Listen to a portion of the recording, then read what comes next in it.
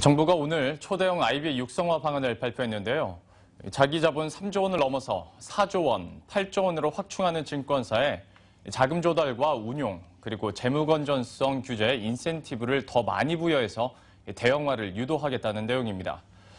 업계에서는 환영의 목소리와 함께 법인 지급 결제가 허용되지 않아 아쉽다는 평가도 나오고 있습니다.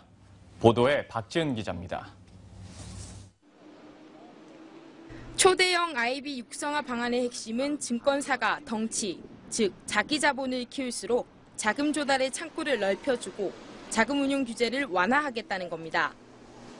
금융위원회는 해당 방안을 자기 자본 3조 원, 4조 원, 8조 원 증권사별로 나눠 적용할 방침입니다. 정책 목표가 증권사의 자기 자본 확충을 통한 대형화인 만큼 단계별로 유인책을 적용하기로 했습니다. 먼저 기존 한국형 IB 인가 조건인 자기자본 3조 원 이상 증권사에게는 자기자본 100% 이내로 정해진 신용공여 가능 범위를 기업 신용공여에만 따로 떼어내 산출할 수 있도록 완화합니다. 자기자본 4조 원이 넘는 증권사에게는 발행어음을 통해 자기자본의 최대 2배까지 자금 조달이 가능하게 하고 기업 고객과의 현물한 매매가 가능한 일반 외국환 업무도 허용됩니다. 또 자기 자본 규모가 8조 원 이상 증권사에게는 고객으로부터 예탁금을 받아 통합 운용하고 수익을 지급하는 종합 투자 계좌가 도입되고 부동산 신탁 업무도 허용됩니다.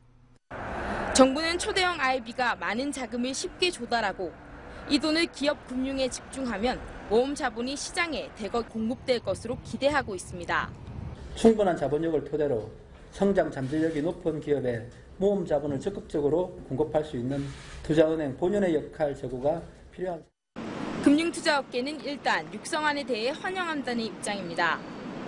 이 조달과 운영 측면에서의 새로 어, 생긴 룸들이 서로 선순환을 일으키려면 아이디들의 업무 영역도 좀 다양화되고 수익성도 좋아질 뿐만 아니라 어떤 기업들에 대한 대고객 서비스도 많이 개선될 거로 기대를 하고 있어서 인센티브가 미래에셋증권을 비롯한 극소수 대형사에 치중돼 있다는 평가도 있습니다.